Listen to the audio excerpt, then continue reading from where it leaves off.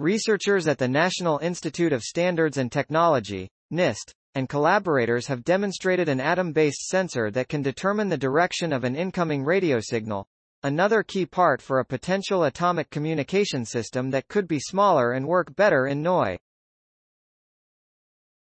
NIST researchers previously demonstrated that the same atom-based sensors can receive commonly used communication signals.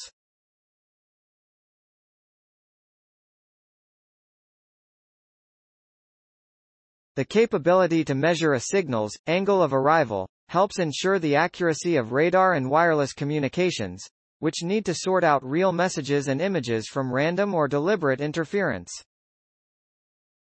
This new work, in conjunction with our previous work on atom-based sensors and receivers, gets us one step closer to a true atom-based communication system to benefit 5G and beyond, project leader Chris Holloway said. In NIST's experimental setup, two different colored lasers prepare gaseous cesium atoms in a tiny glass flask, or cell, in high energy, Rydberg, states, which have novel properties such as extreme sensitivity to electromagnetic fields. The frequency of an electric field signal affects the colors of light absorbed by the atoms.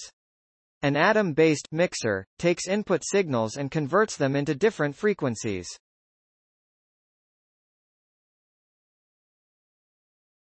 One signal acts as a reference while a second signal is converted or detuned to a lower frequency. Lasers probe the atoms to detect and measure differences in frequency and phase between the two signals. Phase refers to the position of electromagnetic waves relative to one another in time. The mixer measures the phase of the detuned signal at two different locations inside the atomic vapor cell.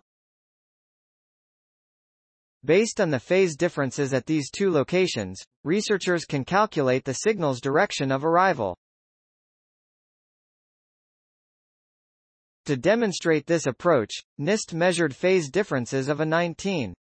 18 GHz experimental signal at two locations inside the vapor cell for various angles of arrival. Researchers compared these measurements to both a simulation and a theoretical model to validate the new method.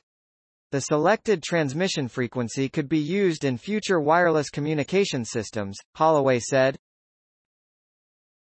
The work is part of NIST's research on advanced communications, including 5G, the fifth-generation standard for broadband cellular networks, many of which will be much faster and carry far more data than today's technologies.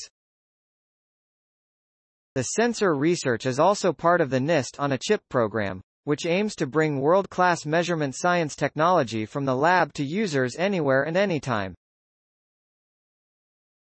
Co-authors are from the University of Colorado Boulder and ANSYS Inc. in Boulder.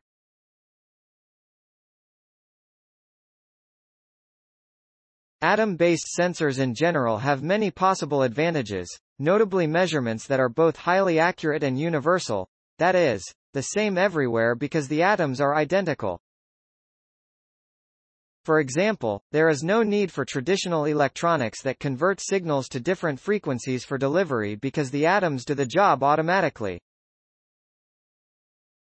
The antennas and receivers can be physically smaller, with micrometer scale dimensions. In addition, atom-based systems may be less susceptible to some types of interference and noise. Please support my channel to grow by pressing subscribe button and the bell icon. We will notify you technological news. Thank you.